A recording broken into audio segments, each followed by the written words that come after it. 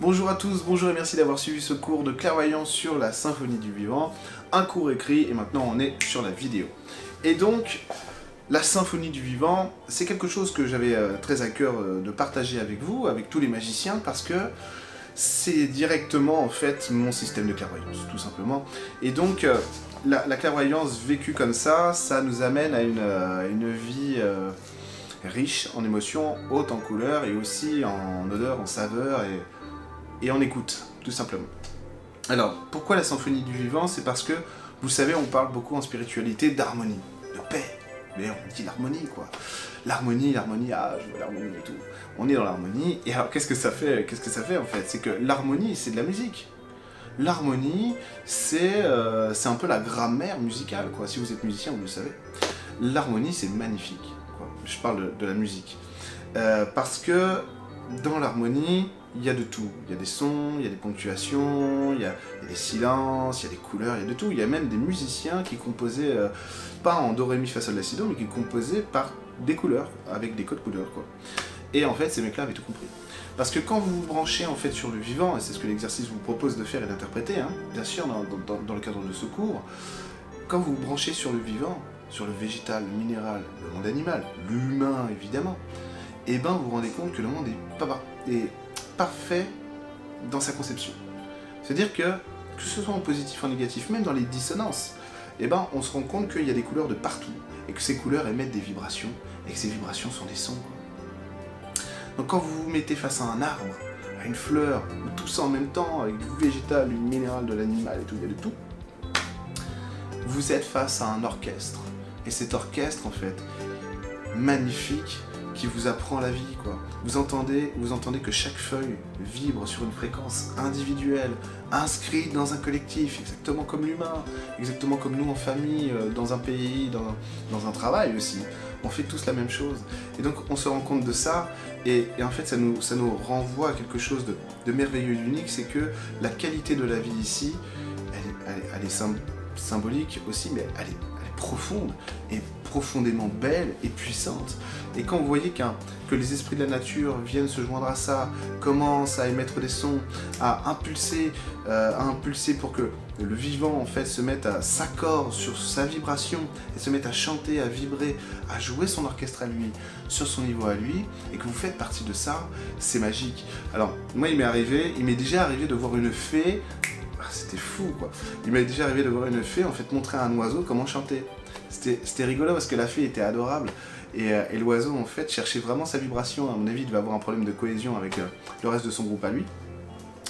Et la fée était juste à ses côtés et chantait pour euh, l'impulser pour que lui trouve la, note juste, quoi. C'est un petit peu comme un humain qui dirait à, un thérapeute ou à, une énergie Tiens, j'ai des problèmes de communication, quoi. Est-ce que tu peux m'aider? Et eh bien, la fée fait ça.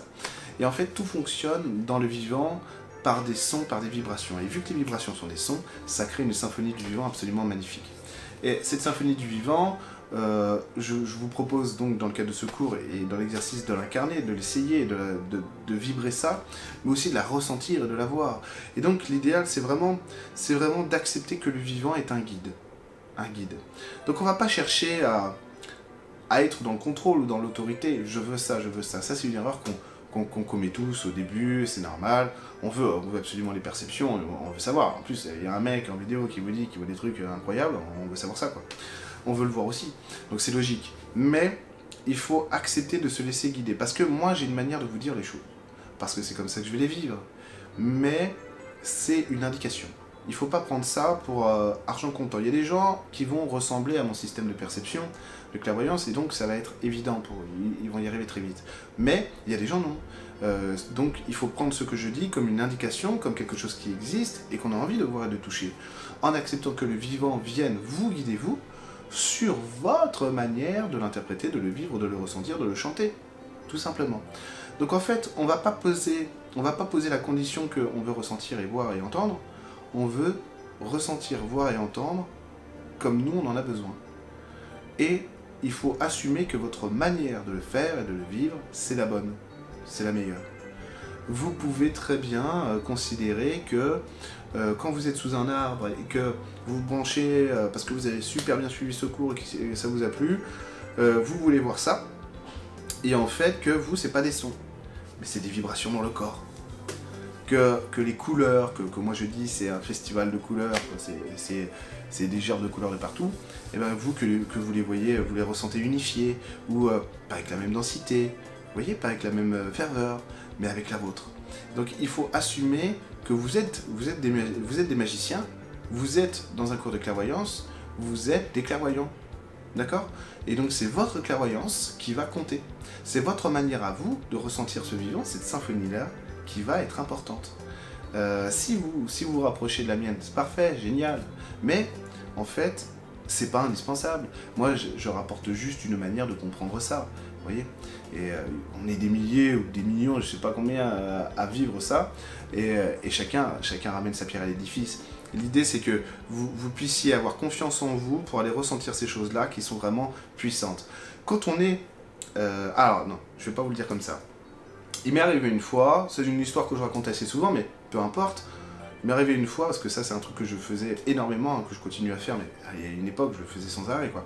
Donc j'allais j'allais dans le jardin public à Évreux. Alors évitez euh, dans des jardins publics comme ça, si vous avez des infos, à parler à voix haute. Hein. on vous prend pour un taré très vite. Hein. Ah ça m'est arrivé très vite. Bon, alors, je me mets sous un arbre que j'aime bien. Et là, du coup, j'entends ce qu'il chante. Et j'entends sa symphonie. Et là, il y a la fée au-dessus qui fait « Ah tiens, très bien !» Elle se, pointe devant moi, elle fait « Ah bah tiens, très bien, puisque tu es là, et puisque tu nous entends et que tu vois le truc, bah tu vas chanter avec nous. » D'accord, mais euh, moi je sais pas chanter, euh, on est dans un jardin public, euh, je, pars à l'hospice quoi, ils, vont mettre l'hôpital. Hein. Non, non mais, chante intérieurement, envoie juste ta vibration. Et donc, je me branche sur tout son réseau énergétique à l'arbre, aux esprits de la nature qu'il y a dessus et tout ça, machin, vous avez compris. Et je l'écoute, et là je me mêle à ça. Et là, l'énergie fait ça. Et euh, moi avec, évidemment. Et quand vous êtes au milieu de cette, euh, de cette énergie, de, de, cette, de cet orchestre, vous êtes dans un sentiment d'unité qui est magnifique. Et en fait, la présence, c'est ça aussi. Il y a une espèce de lâcher prise qui s'opère, parce que vous êtes guidé, parce que vous êtes dans un élan, parce que l'énergie est tellement belle et puissante qu'elle vous porte, que vous vous mettez à vivre dans une autre réalité. C'est-à-dire que là, vous faites descendre le ciel sur terre, littéralement. On n'est plus, on n'est plus là simplement dans, la guidance ou dans un livre ou dans une vidéo qu'on a vue. Non, non, on est, dans l'action, on est en train de le vivre. Et ça, c'est magnifique. Et c'est l'effet que vous devez rechercher. C'est cette intensité-là, en fait, que la clairvoyance amène à la vie que vous soyez avec votre femme, votre conjoint, que vous soyez au travail, que vous soyez en vacances, que vous soyez en train de lire ou d'étudier, et eh ben c'est cette intensité qui nous rend beau et qui nous rend humain. Et donc c'est ça qu'il faut cultiver. Et ce cours sur la symphonie du vivant, eh ben, il a cet objectif-là, de vous ramener au cœur de ce que vous êtes, de ce que vous construisez et de ce que le vivant nous amène. Donc c'est ça qui est passionnant. Et donc c'est ce que je vous invite à faire et à vivre maintenant, à travers ce cours, à travers vos activités à vous, et passionnément en aimant la vie et en vous aimant avec elle.